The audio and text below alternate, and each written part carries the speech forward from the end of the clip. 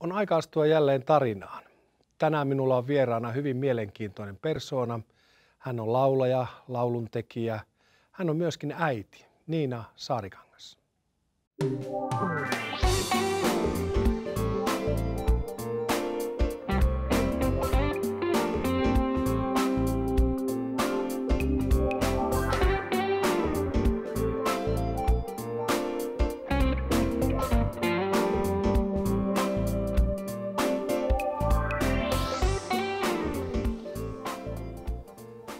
Millainen on Niina Saarikankaan lapsuuden maisema? Mä oon alun perin kotoisin Raumalta, että siellä mä vietin sen ihan varhaislapsuuden ja, tai sanotaan, että ennen kouluikää. Ja sieltä Raumalta me muutettiin sitten aika pian Punkaharjulle, tuonne Itä-Suomeen, vanhempien töiden perässä. Joo, jäikö Rauman murretta yhtään mukaan? Kyllä sitä on koko ajan vähän, vähän siellä taustalla. Onko sulla sukua Raumalla edelleen? Ää, Raumalla ei ole sukua, mutta, mutta sitten Punkaharjulta me muutettiin Euraan, joka on se Rauman naapurikunta siinä, niin tota, siellä sitten on sukua. Joo. No mites, tota, minkälainen lapsuuden koti sulla oli, perhe? Ää, mä oon kasvanut uskovaisessa kodissa ja mun vanhemmat oli tullut aika siinä hiljattain uskoa ennen kuin mä synnyin. Ja tota, he on tullut molemmat, tai mun isä on tullut ihan kans uskovasta kodista ja mun äitillä on ollut tosi rankka elämä, että hän on, hän on ollut erittäin kaltoin kohdeltu lapsi ja, ja tullut uskoa ihan veljensä johdattamana, mutta ihan niin kuin sanotaan näin kylmiltään. Joo. No miten, miten kun sä sanoit, että uskova koti, niin miten, miten se näkyy siellä kodin arjessa, tämä uskovaisuus? No silloin mun varhaislapsuudessani elettiin semmoista 70-80-luvun taitetta ja kyllä se oli siis voimakkaasti läsnä. Se oli sellaisena turvana, että mut opetettiin ihan pienestä asti rukoilemaan ja käytiin seurakunnassa ja pyhäkoulussa ja se tavallaan niin kuin juurtui minuun jo siellä, niin kuin Jumalan tunteminen. Joo. Oli, oliko mitään haittatekijöitä? Muistatko, että Oliko siitä kaveripiirissä tai lapsuuden, tuliko ikinä vastaan niin kuin negatiivisena? Tuli, että tavallaan se oli myös sellaista lakihenkistä aikaa, joka myös osaltaan niin kuin heijastui meidän perheeseen, vaikka mulla on ollut tosi hyvä koti, että mulla ei ole mitään no. moitteen sanaa, mutta se aika oli sellainen. No, että tuota... Vielä ihan tarkinnan, lakihan on itsessään hyvä, että puhun nyt suomenlaista, vaan, en. vaan semmoisesta ikään kuin kireydestä tai tiukkuudesta? Joo, tietystä tiukkuudesta, että tietyt asiat pitää mennä tietyllä tavalla, että sä kelpaat. Joo. Mutta mun kotona mä en ole siis itse kokenut sitä, mutta tavallaan ehkä ympäristöstä sitä on tullut kuitenkin. Ja, no mi- miten sä koet, että mikä, mikä, tuota, mikä sun identiteetti, onko se tuota, pohjois-karjalalainen vai onko se tämä Rauman seutu vai, vai mikä, jos sun, jos, jos sun pitäisi sanoa, että mistä sä oot niin kotosi, niin mikä, mikä jäi niin kuin sisimpään? Kyllä mä oon euralainen. Euralainen, joo. joo. Et se joo. on se, missä mä oon niin kuin suurimman osan ajasta elämääni kun kasvanut. Joo. Tuota, sä jossakin mainitsit sillä tavalla, että sulla oli vaihe, oliko se yläasteikäisenä tai jotain vahvaa identiteetin etsimistä. Joo. Silloin mä niin kuin, siinä vaiheessa, kun sä oot nuori ja sä etsit sitä identiteettiä, niin sä et ymmärrä, mistä siinä on kysymys. Mutta tota, ää, mä koin sellaista hirveän, nyt jälkeenpäin kun on analys- analysoinut sitä, niin mä koin sellaista just tämän niin kuin hengellisen ja kristillisen kasvatuksen ja sitten koulumaailman sellaista ristivetoa todella voimakasta, koska me asuttiin pienellä paikkakunnalla ja seurakunnassa ei ollut hirveästi mun ikäistä nuorta. Ja, ja tavallaan ne, ne asiat, mitä kotona pidettiin tärkeinä, niin ne ei sitten välttämättä ollutkaan kavereiden kodissa tärkeitä. Et se aiheutti mulle semmoista todella isoa ristiriitaa.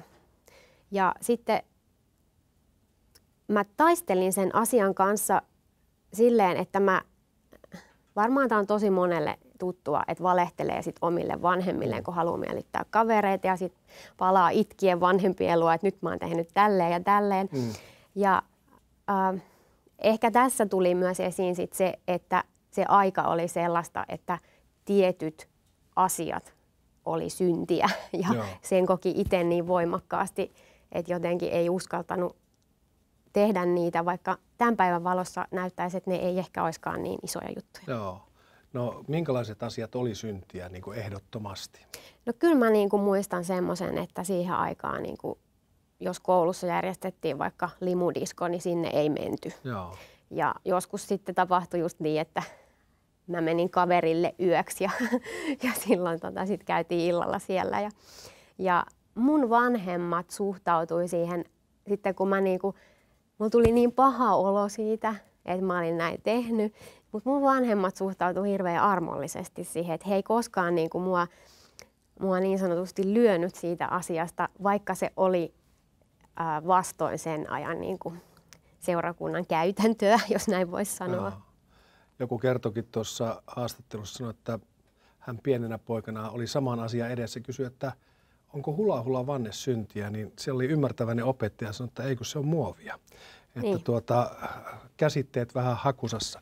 Mm. Tuota, Sitten sulla oli tämmöinen äh, uskonelämä myöskin kääntöpaikka ja siinä oli näitä, näitä tavallaan ikään kuin sisäisen elämän identiteetin etsimistä ja synnin tuntoja ja monia muita, niin miten, minkälainen tämä henkilökohtaisen uskon löytyminen tai tämä kääntöpaikka oli? No, mä niin kuin koin silloin sellaista, siis tämä on jotenkin kauhea sanoa näin jälkeenpäin, mutta mulla oli päällimmäinen ajatus, oli pelko. Että se on ehkä sitä synnin tuntoa, mutta niin kuin, sit mä oon miettinyt, että miksi mun pelko oli niin voimakas. Mm. Että se, että sä oisitkin koko loppuelämässä Jumalasta erossa. Mm. Että ehkä sen ajan ne kaikki puheet ja, ja äh, ihmisten niin kuin asenteet niin kuin vaikutti siihen, mm. että se niin kuin muodostui enemmän niin kuin peloksi kuin sellaiseksi niin kuin kaipaukseksi Jumalan puoleen. Jumala ei ollut rakastava Jumala, vaan tavallaan jota piti, jolle piti kelvata. Joo, Jumalalle piti kelvata ja tehdä se uskon ratkaisu, että sä kelpaat. Joo. No, no tuota, miten sä löysit sen vapauden siitä taistelujen kautta vai onko edelleen pelko puserossa? No mä oon tällä hetkellä kyllä, koen kaikkea muuta paitsi pelkoa Jumalan edessä, että kyllä se oman aikansa vei, että niin kuin löysi sen tien, että niin kuin oikeasti mun ei tarvi näillä omilla tekemisillä niin kuin todistaa Jumalalle mitään. Joo. Et tota, sitten mä kävin semmoista niin kuin tosi isoa kamppailua ja sit mä niin kuin teiniässä tai sanotaan lukioikäisenä, niin mä huomasin, että mä ää, tein tietynlaisia ylilyöntejä, koska mä halusin niin vakaasti olla uskossa, ehkä sen pelonkin takia, mm. mutta ehkä myös niin kuin sit oikeasti, kun se alkoi kasvaa se usko, niin halusi näyttää sen. Ja oli sellaista nuoruuden intoa mm. ja sitten huomasin, mulla oli kyllä koulussa semmoisia koulukavereita, joiden kanssa mä siellä olin, mutta mä huomaan nyt jälkeenpäin, että mä silloin ehkä käyttäydyin heitä kohtaan väärin, että mä olin liian radikaali tietyissä Joo. asioissa. Mutta mä luulen, että se on ollut hyvä sen takia, että mä oon nyt tässä kuitenkin. Joo. Se joudut it- itsestäkin olemaan ikään kuin mustavalkea ja tavallaan Kyllä. tällä tavalla kohtaamaan myöskin muita ihmisiä. Joo. Joo. Joo, se on varmaan joku turvatekijä siinäkin. Tuota, sanoit kumminkin sellaisen ajatuksen, että ehkä, ehkä tuota, uskossa kasvamisen ja säilymisen takia se oli tärkeä vaihe. Niin miten sä, miten sä nyt kun jälkeenpäin aikuisena ajattelet sitä, niin, niin oliko se joku semmoinen irtiotto tai miten sä koit sen? Joo, siis oli, oli varmasti irtiotto, että mun piti itseni takia tehdä se. Ja tai tavallaan niiden olosuhteiden takia, että mä niin kuin pysyn siinä uskossa. Tota, mutta Jumala on kyllä sen jälkeen niin kuin hoitanut mua ja armahtanut ja näyttänyt sen, että miten rakastan. Vähän on oikeasti, että mun ei tarvikaan niin kuin olla sellainen. Ja nyt mä oon sitten taas löytänyt semmoisen oman tieni tässä. Joo. Tuota, sitten äh, mulla on merkattu tälle oma ajatus, vaan että sä saat kutsun musiikkiin. Ja tuota, musiikilla on vahva ote ainakin tämän jälkeen sun elämässä, mutta oliko jo lapsena? Oliko, tuliko musiikki? Joo, mun äiti on aina laulanut ja hän on tota, edelleenkin vahvasti musiikissa mukana. Ja tota, mä pienenä ihan jo hänen kanssa oli mukana laulamassa ja se on sieltä lähtenyt se mun musiikillinen into. Ja sitten myös soitin jonkun verran pianoa ja teini-ikäisenä harjoittelin kitaran soittoa ja sitten mä innostuin laulamisesta niin paljon, että mä lähdin sitten laulutunneille ja, ja se tavallaan, mä tein jo pienenä tai sanotaan tälle ala-asteikäisenä varmaan ensimmäisiä lauluja. Mm. Ja niitä sitten ehkä 15-vuotiaana aloin tehdä lisää ja harjoittelemaan sitä. Joo, no miten, miten tuo musiikkimaku, niin oliko sulla kumminkin ihan selkeästi, että sä haluat laulaa hengellistä vai oliko sulla erityyppistä? Kyllä se oli siinä vaiheessa ihan ehdoton, että hengellistä musiikkia. Joo. Että silloin mä just tutustuin niin kuin teini-ikäisenä erilaisiin näihin gospel-artisteihinkin niin kuin, ja heidän musiikkiin, että kyllä se oli semmoinen esikuva. No, jo, no jos sulla olisi ollut jonkun gospel-artistin kuva ää, tyttöhuoneesi seinällä, kenen kuva siellä olisi ollut? Ää, kyllä mä muistan, että mä jotain tota, maata näkyvissä festareilta tai amerikkalaisten näiden muusikoiden Joo. kuvia pidin seinällä. Et ei mulla tainnut Simojoen Pekkaa olla se. Joo. Joo, ja ei varmaan Suomessa sellaista kulttuuriakaan oikein ei, ole. Että, että ei. Tota, sitten sun matka vei tuonne Amerikan maalle ja lämpimiin olosuhteisiin, jossa löytyi elämän kumppani. Joo, se oli mielenkiintoinen asia. Mä lähdin tosi niin kuin lyhyellä varoitusajalla hetken mielijohteesta mun tällaisen ystävän tai seura, seurakunnasta tällaisen tuttavan kanssa Floridaan. Siellä oli talvipäivät. Hän pyysi mua mukaan, kun mulla oli just loppunut semmoinen pieni työharjoittelu. Mitä merkitsee Floridassa talvipäivät? Se vähän käsitteenä, kun on, on niin Joo. Vähän, vähän erikoinen. Siellä oli tota, paikallisessa seu, suomalaisessa seurakunnassa tämmöiset, niin kuin tämmöinen tapahtuma, joka kerää ihmisiä Joo. eri paikoista. Siellä ei lunta ilmeisesti ollut. Siellä ei paljon ollut lunta. No, joo. Ja siellä tapasit sitten tulevan aviopuolison. Joo, ja sekään ei mennyt ihan oppikirjan mukaan, että siellä sitten oltiin ö, talvipäivillä ja meillä tuli sitten vähän majoituksen kanssa haasteita. Meillä ei ollut kaikki ihan loppuun asti suunniteltu, niin tota, sitten päädyttiin erääseen hotelliin, jossa Ville oli sitten töissä. Ja sieltä sitten, sieltä sitten me meidän tiet kohtasi ja sitten käytiin vähän lätkämatsissa ja muuta semmoista. Joo, sun tyttönimi oli Linde. Kyllä. Ja siitä sitten taipuu uuteen sukunimeen hetken päästä. Tuossa on aika hyvä oikeastaan tähän vaiheeseen, niin teillä myöskin miehes kanssa on ikään kuin yhteistä tulevaisuudessa sitten, kun mennään eteenpäin, niin tähän musiikkiin ja musiikkivideoihin ja muihin, niin katsotaan pieni pätkä siitä, mikä sun sydämessä kutsuna soi ja katsotaan tuosta Suuri sydän musiikkivideolta pieni otos, niin nähdään sinua tosi toimessa.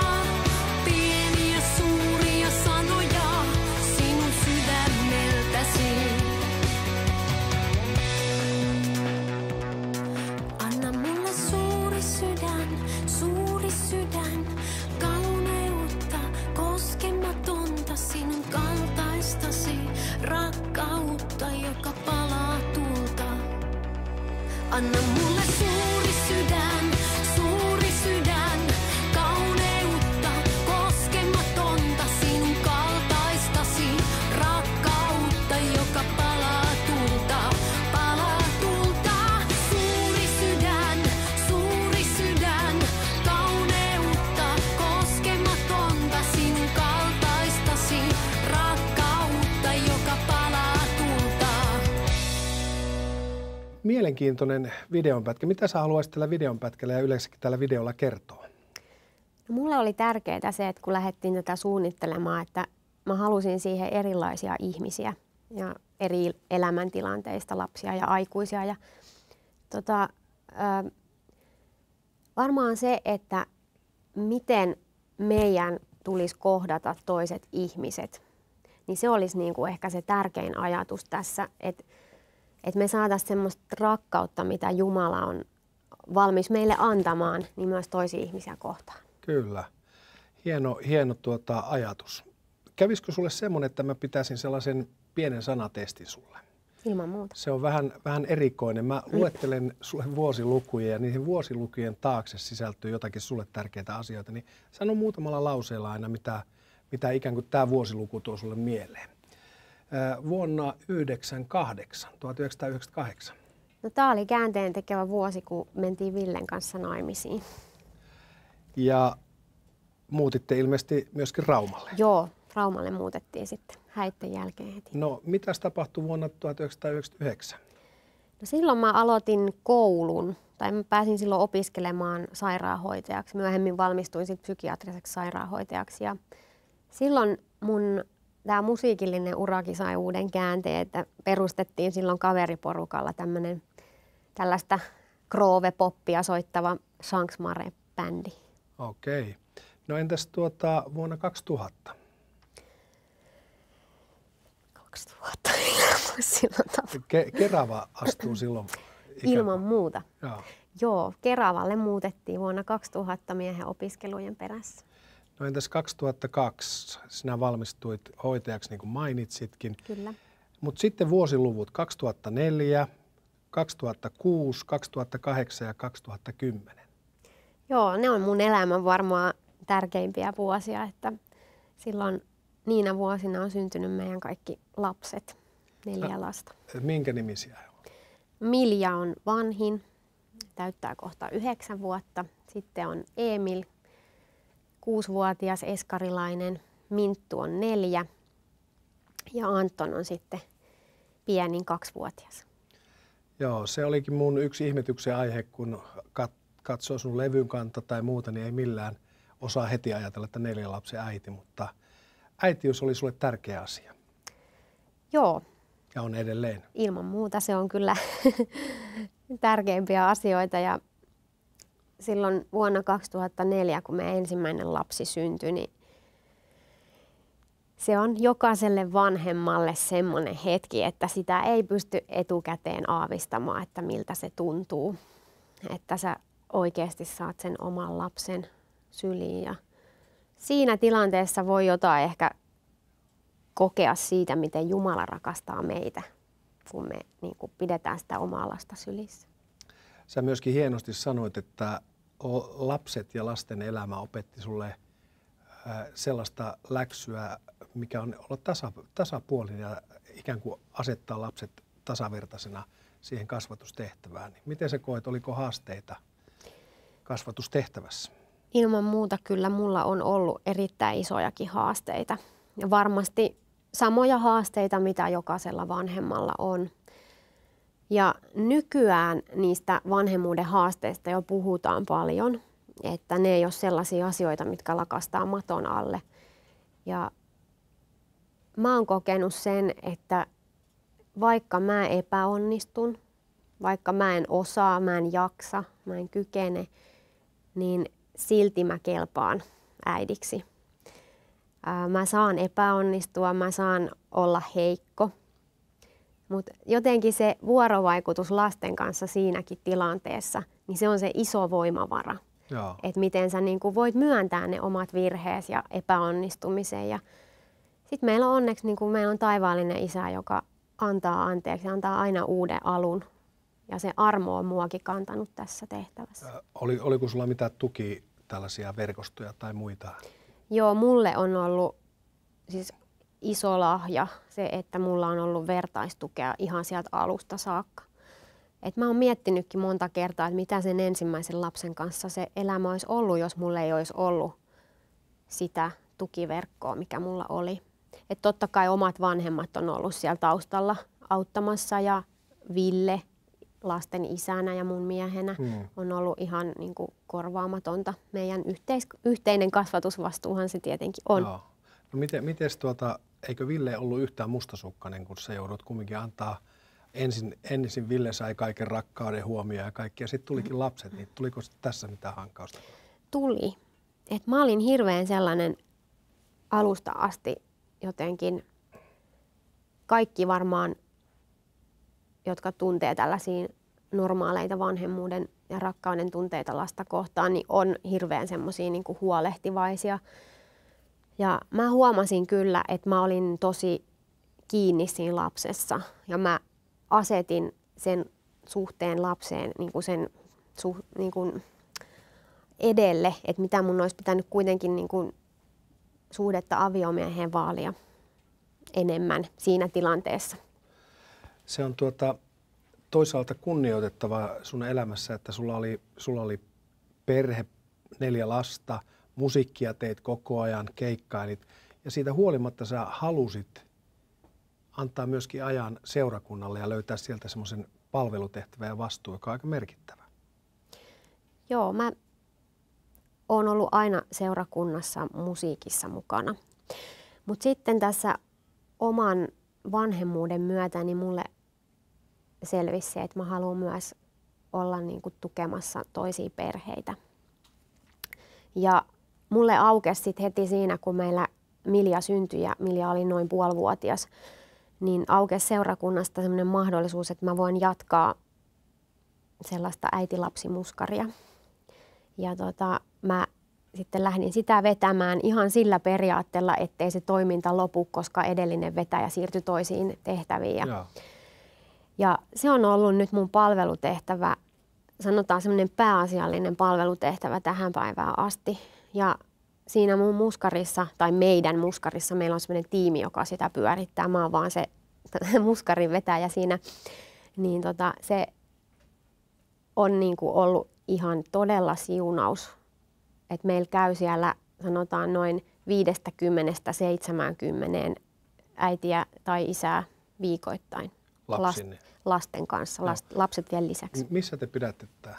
Keravan helluntai-seurakunnassa. Joo, se on kyllä merkittävä palvelutehtävä ja varmaan, varmaan aika monen henkireikä myöskin kotona oleville äidille tai isille.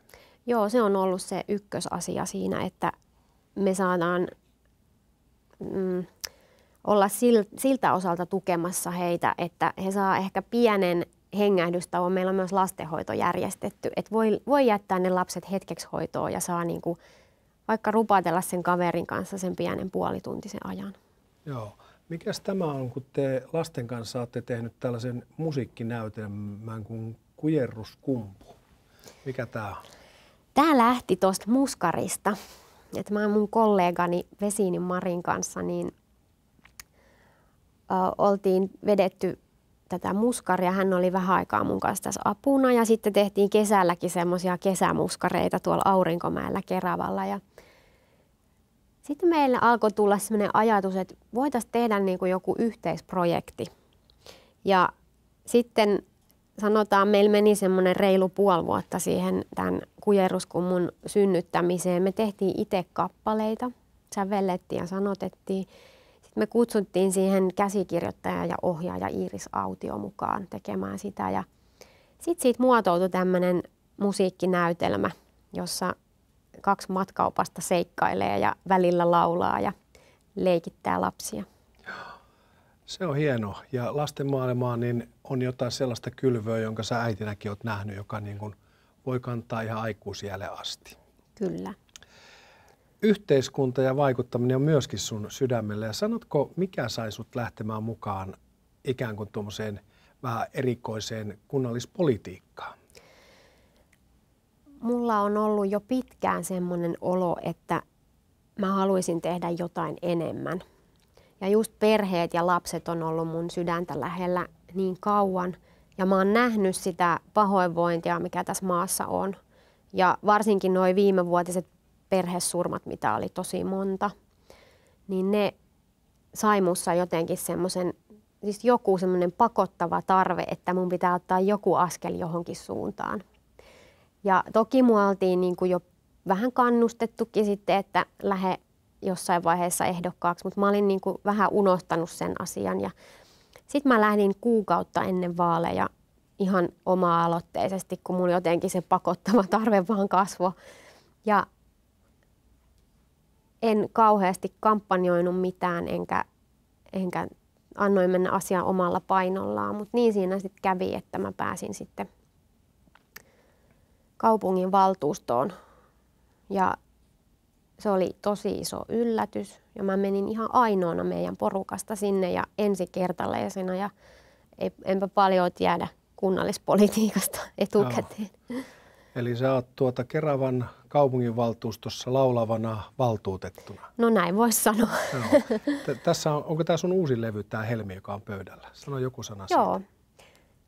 Helmi ilmestynyt tuossa joulukuussa. Tämä on mun toinen soololevy. Et Kuvasi kaltainen niminen levy ilmestyi vuonna 2011 alkuvuodesta. Ja tämä Helmi on nyt siitä erilainen levy, että tässä lähdettiin kokeilemaan ihan erilaista musiikkityyliä. Ja mentiin vähän semmoiseen modernimpaan poppiin ja se oli mulle itselle kauhean piristävä kokemus tehdä tätä. Ja toki ne samat aiheet, mitkä mä en, ensimmäiselle levyllekin on saanut, niin on myös mukana tässä Helmi-levyllä. Kun pyydän aina ohjelmaan tuomaan jonkun ihmiselle tärkeän asian, niin sä toit raamattu. Mitä haluat sanoa siitä kirjasta, joka pöydällä on? Joo, mä eilen selailin raamattua ja mä katsoin, että varmaan tämä on monelle ihmiselle tyypillistä, mutta mä oon koonnut tänne raamatun väliin eri elämänvaiheista tärkeitä asioita. Ja mä niin kuin jotenkin konkreettisesti ymmärsin, että tämä on oikeasti mun semmoinen elämän ohjekirja. ja täällä on kirjeitä mun lapsilta, mun mieheltä ja jopa kouluajoilta. Ja yksi semmoinen tärkeä raamatun kohta, mikä on mua kantanut tästä viime syksystä eteenpäin, niin mä haluaisin sen tässä lyhyesti lukea Filippiläiskirjeestä. Älkää olko mistään huolissanne, vaan saattakaa aina se, mitä tarvitsette, rukoillen, anoen ja kiittäen Jumalan tietoon. Silloin Jumalan rauha, joka ylittää kaiken ymmärryksen, varjelee teidän sydämenne ja ajatuksenne niin, että pysytte Kristuksessa Jeesuksessa. Mä oon tätä raamatun kohtaa lukenut nyt niin kuin on monta päivää, että mä luen pelkästään tota raamatun kohtaa. Oli hyvät ja painavat sanat. Noihin on hyvä päättää. Kiitos Niina Saarikangas ja hyvää ja mielenkiintoista elämää näissä hienoissa haasteissa, joita sinulla elämässä on. Kiitos. Kiitos.